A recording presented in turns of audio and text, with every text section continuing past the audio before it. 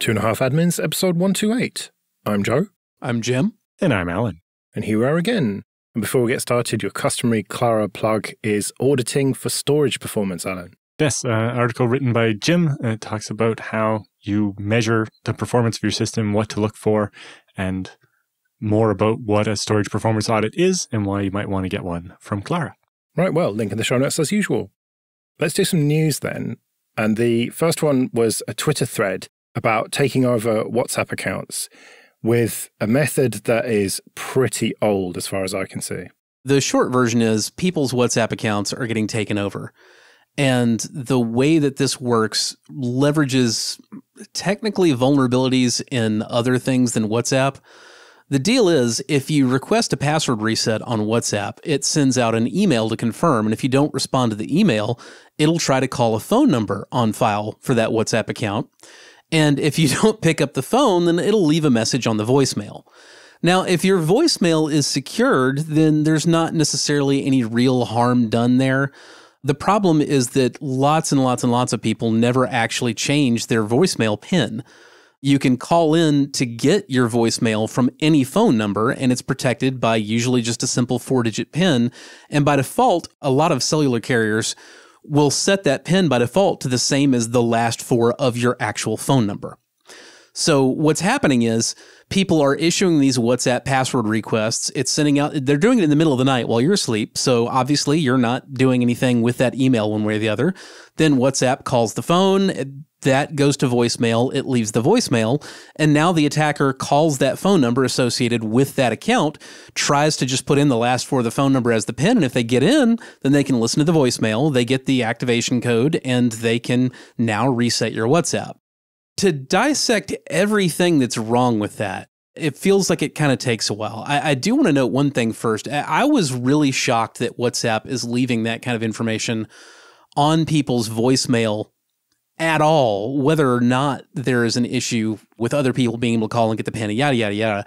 Because even absent all those issues, it just seems crazy to me as somebody who once worked in debt collections that you would put that kind of information on somebody's voicemail. If you're not aware, if you've never worked in debt collection in the United States, if you so much as say, you owe my company $50 onto somebody's voicemail, that's a $10,000 fine each time you do it because legally voicemail is considered an insecure storage mechanism that can be easily accessed or overheard by third parties. So, even in the absence of thinking about whether or not phone carriers that largely predate the internet itself, because I mean, you know, most of the folks doing the cellular stuff, you know, a lot of the cellular companies predate the internet. A lot of the cellular companies are also landline companies originally that predate modern computing, let alone the internet. So it's not too surprising there are some really bad security practices going on with their customer facing accounts. But again, just even absent all that, the idea of like, let me leave this code on your voicemail blows my mind. Yeah, it definitely should be press nine and then we'll read the code out to you so that it doesn't ever accidentally get recorded by a voicemail and that you confirm you're actually talking to a person who's expecting to get a code before you give out the code. Because, yeah, basically, it sounds like they send an email or SMS first, but then there's always a button to say, well, I didn't get that. And then it falls back to this other mechanism. And it's, you know, what we've been talking about with 2FA and MFA for a long time. Oftentimes, it's the recovery for the 2FA that is the weakest point. Mm-hmm. It's like 2FA adds all this extra security, but we always have an escape hatch, a, a break glass way of getting into the account. And oftentimes, that's the weak point. Whether that's because you just talk to someone in customer support and they give out stuff and reset stuff, or, you know, in this case, it's an automated phone call that was perfectly happy to record to your voicemail. One of the interesting comments that I saw about this from somebody on Twitter was, uh, I'm completely secure from this hack, as are many people I know, because we just let our voicemail box get completely full and it stays that way for the entire time we own that number. So no sensitive data can be put on the voicemail for anybody to access. Well, the problem with that is my carrier deletes voicemails after like 90 days or something. So you can't keep it full unless you just keep getting new ones, I guess. Right. And, you know, somebody else in this thread was saying just disable voicemail, and someone else is maybe, but some carriers like Google Fi don't allow that. I guess Google wants all your voicemails. Google wants all your data. Yep. Voicemail is a form of data, so yes, Google wants it. Yeah. And, you know, doing this in the middle of the night because I'm guessing most people's phones are like mine. It knows when it's plugged in on the nightstand, the ringer is off unless, Mhm. you know, somebody with a star on their name or they call three times in a row kind of a thing.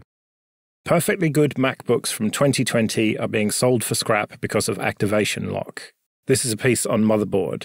Well, clearly they're not perfectly good, are they?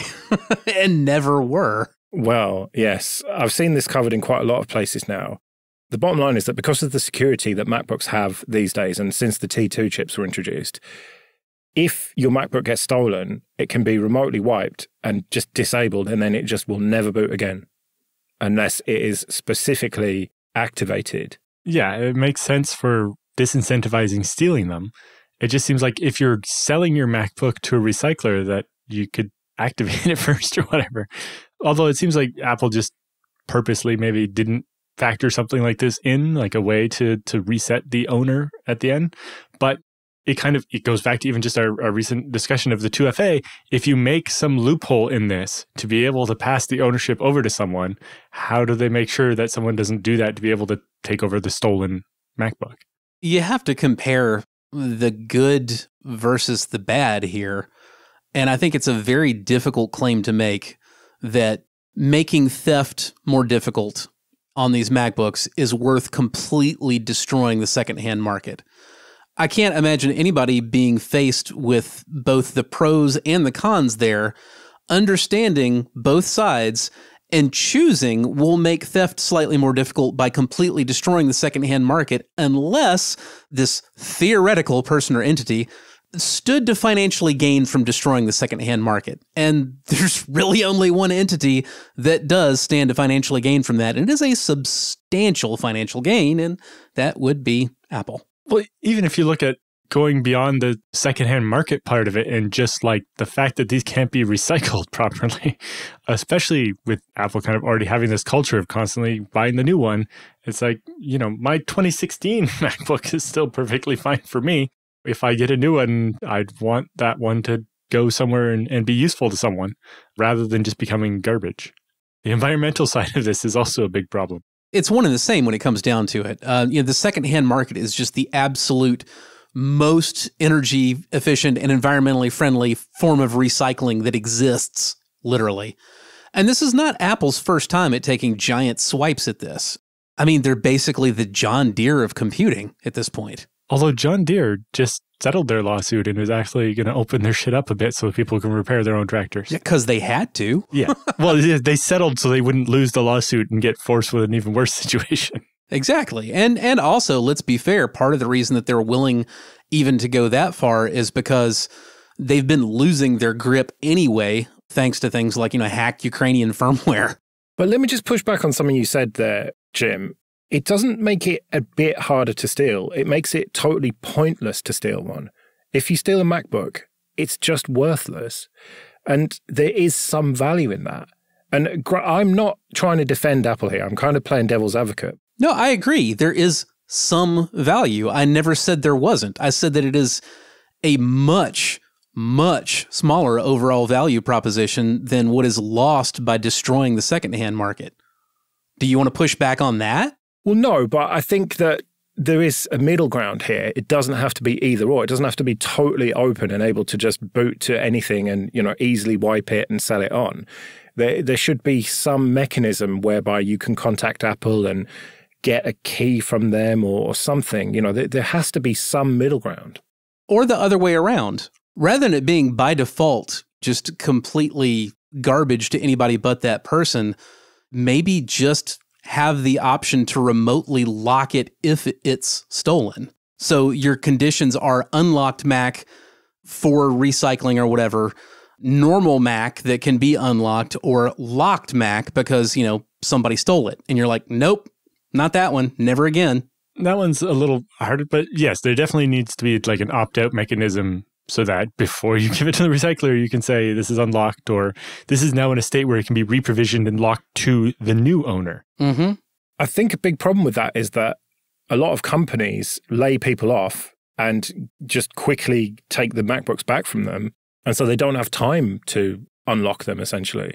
and they don't care. They've been laid off or fired or whatever. Right. Well, in that case, the laptop probably wasn't locked to that person's personal iCloud account, though, right? Right. And my, my point was basically don't turn it into e waste unless it's been reported stolen in the first place. Don't just make everything automatically e waste, which is what the current state of affairs kind of boils down to. Yes. Uh, just the, the problem I see with that is it makes it too easy to prevent it from making the, the connection that will let it do that. Yes. But again, consider the greatest good.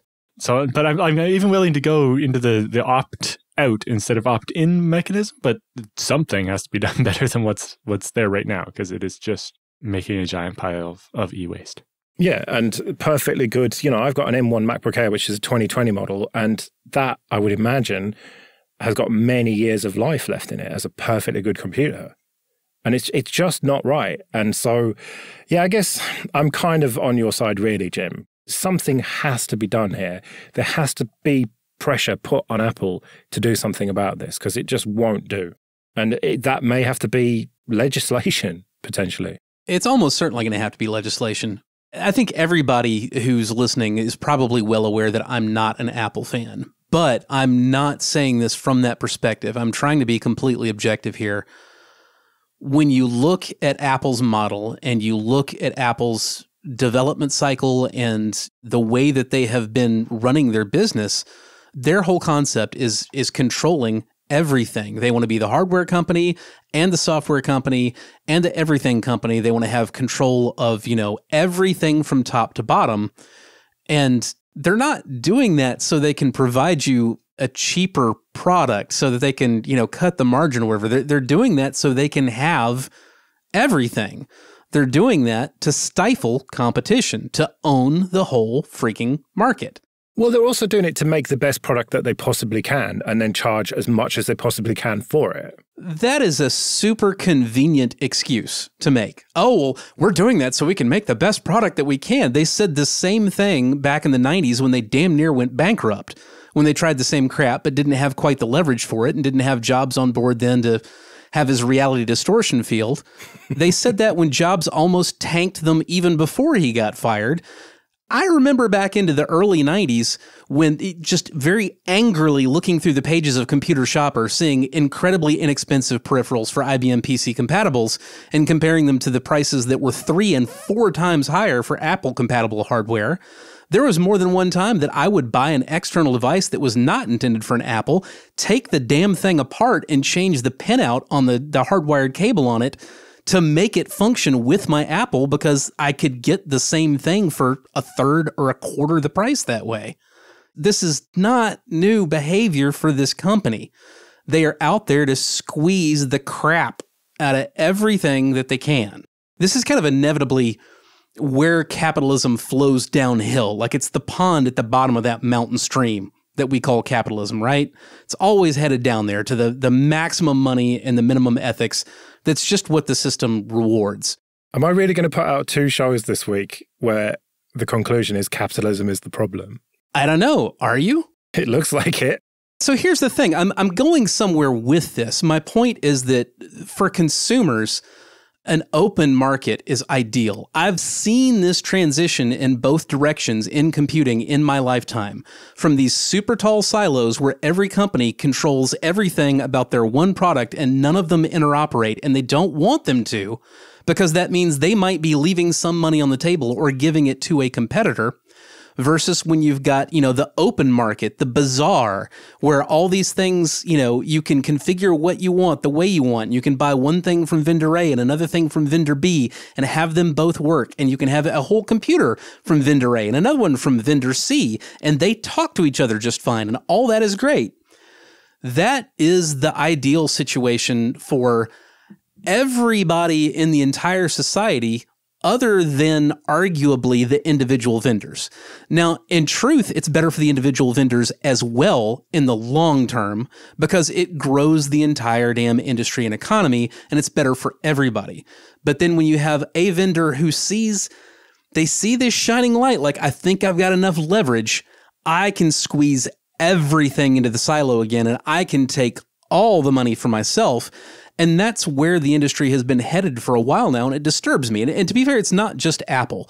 This is one reason that I'm not super big on ARM computing in general, because when I look at where ARM computing is heading, it is getting a lot more powerful. There are getting to be more things that you can do with it, but it all looks like cell phones. I mean, it might be an ARM powered laptop, but it's basically a big ugly cell phone. You know, you you can't put whatever peripherals you want to in it. You can't go get a power supply from one vendor and a graphics card from another vendor and plug them into a motherboard designed, you know, to accommodate parts from wherever you want, like the wonderful old x86 days. No, it's like here is a box. It lives in a chassis that you don't open and you use it until you're done with it and then you throw it away. And I don't want to go back to that crap you can't just put a new NIC in to the PCIe slot because there isn't a PCIe slot. Well, so on the ARM server stuff, there is still that where you get real PCIe slots and you can put in the same video card you'd put in a regular computer in the same NICs or whatever, and to do that. But that's only a, a small section of the market, and only where the market demanded that we not get locked into using your special NICs, where we want to use the ones we're already using, right? Whether it's, you know, the Mellanox NVIDIA ones or the Chelsio ones or whatever. And it goes to show that in the places where the customers have enough strength to be able to say, no, we want PCIe slots and be able to slot in whatever components we want, that that can happen. But when we get to this, you know, the idea of general purpose computing for people, it always seems to get dumbed down to no, you'll just take this and and like it. Yeah. You'll have eight gigabytes of RAM until you throw the machine away because you simply can't upgrade it. You know, that's not just in the computing industry. I know, I know, Jim. Stop making car analogies with computers, but uh, but seriously, if you look at the automotive industry, it's it's the same trends. You know, um, mm. it used to be a lot easier to work on cars, and I'm not talking about the transition from you know analog to digital control mechanisms. I'm talking about the transition between like you can open the hood and you can see all the spark plugs and the wires and you can change them versus oh you want a major tune up well then you need to bring it into the shop and you know put the whole car up on a lift and you know pull the the left front wheel to be able to get it plug 3 to remove it. That kind of crap happens because consumers just they don't care enough to not buy that thing. You know, they get upset after they bought it and they discover, oh, this costs an arm and a leg to work on but they don't care enough to do the research ahead of time and say, oh, well, that's bad and I don't want to get one of those. And once the industry as a whole kind of realizes that they can get away with that, then you get enough of them doing it that now the consumers largely forget there ever was a different or better way. And they're just like, oh, this is just how it works. You know, one fairly simple solution that Apple could do here with these machines is allow them to boot from external devices but just lock down the internal storage so you can't read anyone's stuff. I don't think that makes sense. Uh, what the one of the recyclers suggested, I think, makes more sense of some kind of like a timeout. Basically, if it's been 30 days since we tried to unlock the machine and the person hasn't reported it stolen, basically, then declare it abandoned at that point. Because especially like they talked about when we get 3,000 of these dumped on us by a school board, it's like they sent them away to be destroyed or recycled or whatever. And then we bought it from the person that they contracted to do that. If we call the school board, they don't even know who we are. Uh, and they have no interest in spending any of their time authorizing us to take over these 3,000 machines. And, you know, if we didn't deal with it before they gave away the machines, then there's nothing they can do. And even if they did, it's like they don't want to go through all 3,000 machines and unlock them or whatever. And so, yeah, some kind of mechanism just there's a timeout after that amount of time. If you didn't report it stolen, then it's not stolen and, and it can be recycled. Yeah, and just make sure any encryption keys get deleted, it gets properly wiped. Right. Just re roll all the keys so that none of the data can be accessed or anything, but the device gets wiped and, and is, is usable again instead of just a brick. Okay, this episode is sponsored by Linode. Go to linode.com slash 25A, support the show, and get $100 free credit. From their award winning support, offered 24 7, 365 to every level of user, to ease of use and setup, it's clear why developers have been trusting Linode for projects both big and small since 2003. Deploy your entire application stack with Linode's one click app marketplace, or build it all from scratch and manage everything yourself with supported centralized tools like Terraform.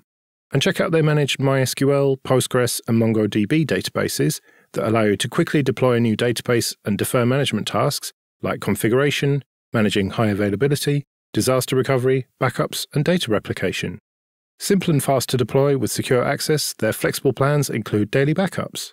So go to linode.com slash 25A, create a free account, and you get $100 in credit and support the show. That's linode.com slash 25A. Let's do some free consulting then, but first, just a quick thank you to everyone who supports us with PayPal and Patreon. We really do appreciate that. If you want to learn more about it, you can go to 2.5admins.com slash support. And remember, for $5 or more per month on Patreon, you can get an advert-free RSS feed. And if you want to send in your questions for Jim and Allan or your feedback, you can email show at 2.5admins.com.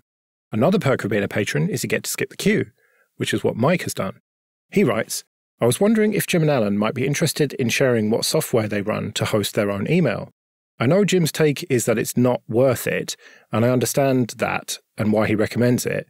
But if someone wanted to try it anyway, even for the purpose of just learning the pitfalls, what software and solutions do you guys use? Now, I swear we talked about this recently, and I looked it up, and it turns out that recently was March of 2022, so nearly a year ago.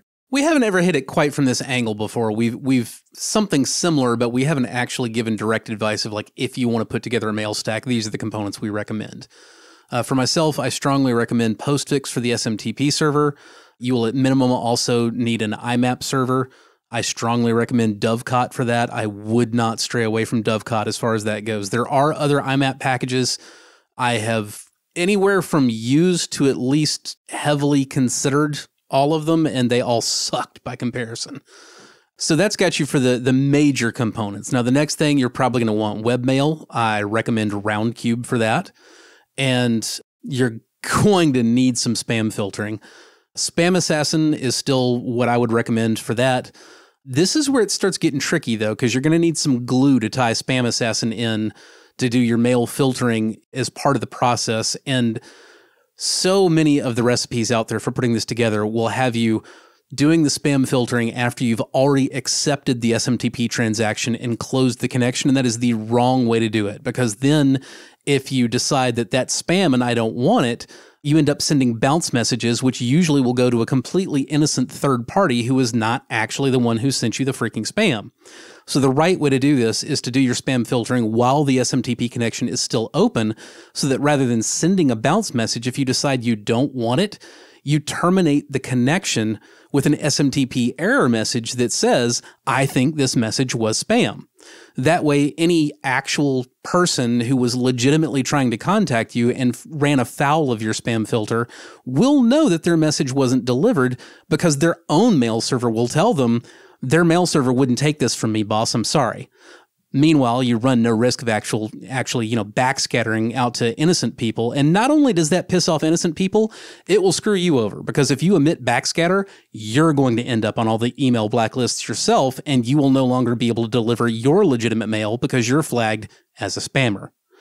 I should have said block list there instead of blacklist. I'm still getting my terminology correct with change for the record. Anyway, um, in order to put the glue together to get these things to go together, there is a great package that I don't see anywhere near enough people using called PostProx.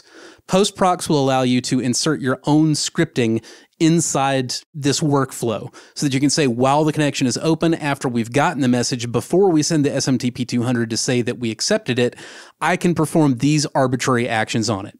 When you do that, the other important thing is if you're going to have any volume whatsoever, you don't want to run the command spam assassin, which fires up a Perl script. What you want to be doing is you want to be running spamd, which is the daemon version of spam assassin. And the command that you're calling from your script is spamc, the client that talks to spamd. If you don't do that, you're not going to be able to manage any kind of volume and you're going to have timeout issues because sometimes it will take you too long to process your filtering requests. All right. So the next thing is you may think, okay, well, I also need, um, I've got my spam filtering. I need antivirus filtering as well. Now, my first answer to that is going to be no, you don't. Because Spam Assassin is actually going to do a better job of catching the malware garbage in there than any antivirus client I've ever seen that I can plug into a, a mail flow process. And the other thing is, I very, very, very strongly recommend do not use Clam AV.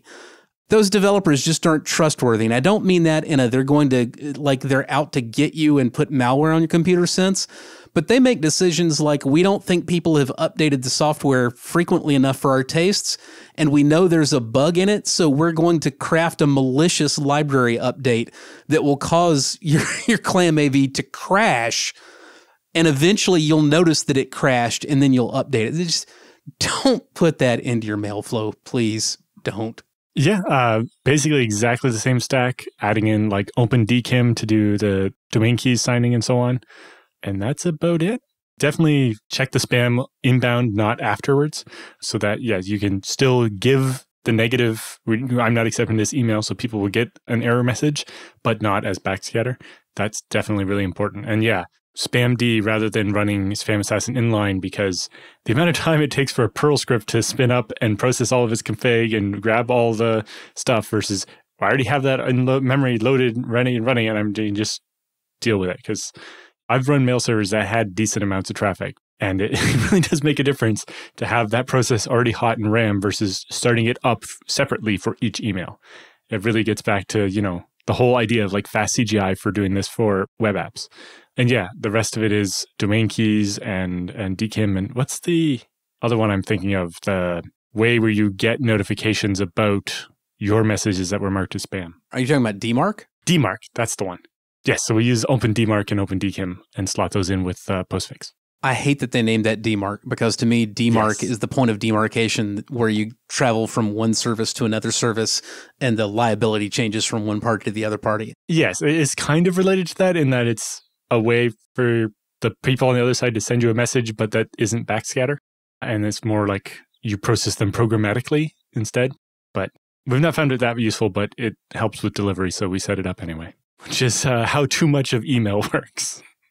And then the other thing we've done is for work, we're actually using like Office 365 or whatever, but we set up the Exchange connector thing so that for our internal services that need to be able to deliver stuff, our postfix can send it to Exchange, which can then deliver it to make sure that the stuff from our like our ticket system actually gets to people's inboxes and doesn't get marked as spam as you're describing that stack, just yakety sax is playing in my head. Yeah, but basically all, all it's doing is, is Postfix does everything, but the last step is route it via Microsoft so that other people will accept it, which is a sad state of affairs. But having the DKIM and the SPF and all that didn't mean our messages actually got to people's inboxes, but bouncing it through an Exchange server at Microsoft meant that it was on the very, very short list of people whose messages don't go into the void.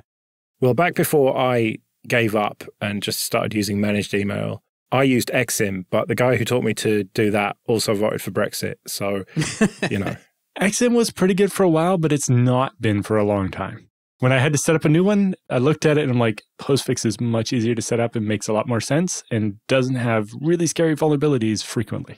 Mm-hmm. Yeah, I wasn't a big fan of the vulnerabilities, but I was a fan of how easy the config files were to deal with and how to add aliases and new accounts and stuff. Well, it wasn't so easy to deal with when you had issues that involved like needing to go in and do surgery on the queue. I can tell you that. Yes, PostFix queue management stuff is much nicer. Uh, as far as the account management stuff, I just have some profiles that put it into MySQL and I can manage it nicely.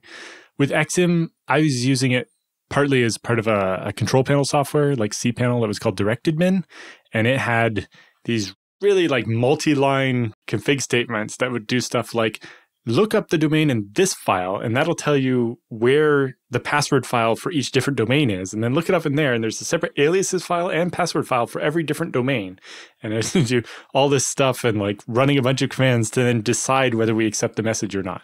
Kind of a bit like what jim was describing for doing the spam assassin on the inbound side, but really complicated config instead of a nice scripting language. Or actually, I think with Exim, we had it set up so that the thing actually listening on port 25 or whatever was a spam assassin thing that then would only pass it into Exim if it passed the spam filter. And then it would go through spam assassin a second time to do the subject tagging for the stuff where it's like maybe spam and we want to flag it, but still deliver it to the inbox or whatever. It was gnarly. Right. Well, we'd better get out of here then. Remember, show at 2.5admins.com is the email address if you want to send in your questions for Jim and Allan. You can find me at joeress.com slash mastodon. You can find me on Twitter at jrssnet. And I'm at Allan Jude. We'll see you next week.